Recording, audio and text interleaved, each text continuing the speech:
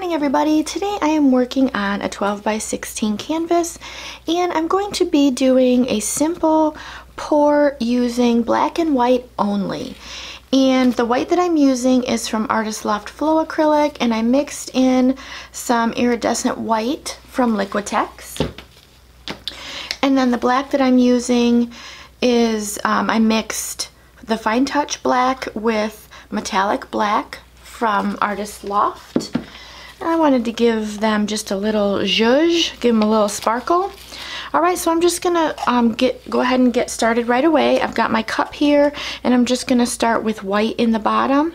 And all my colors have been mixed with my pouring medium, which is Liquitex pouring medium, Floetrol, and water. And I'm not putting any silicone in these colors. I just wanna see what happens with these.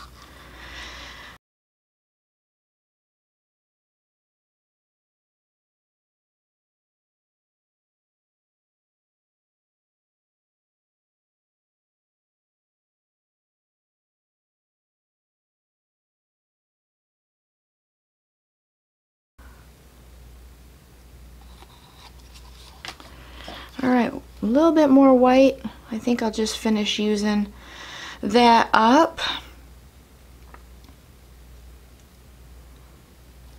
All right, move these. All right, so I'm just gonna bend my cup and I'm gonna start up here in the corner.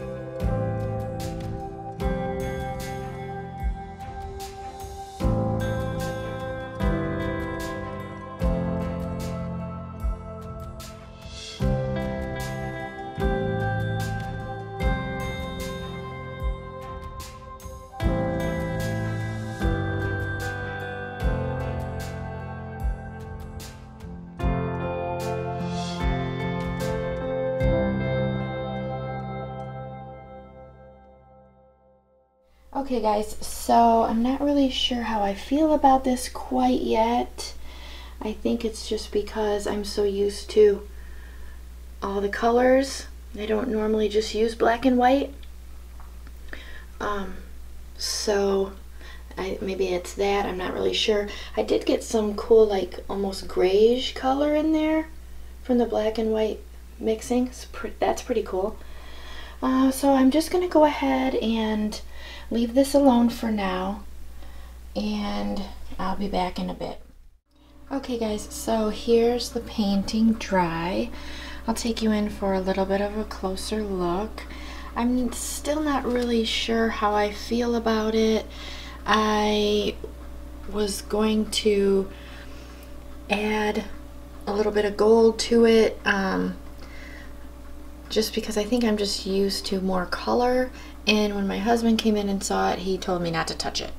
So I ended up leaving it.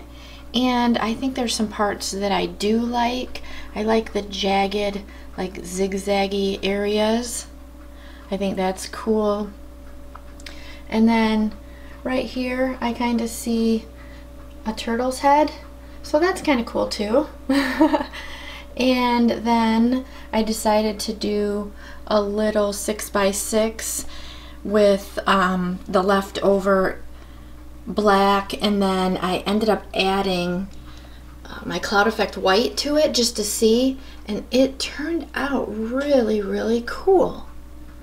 So I'm probably gonna do something with um, another uh, cloud effect with the black and white or with the um, white pearl and the iridescent graphite maybe. So we'll see. Anyway, thank you guys for watching. Don't forget to like this video, subscribe to my channel, check out my links in my description, and have a great day.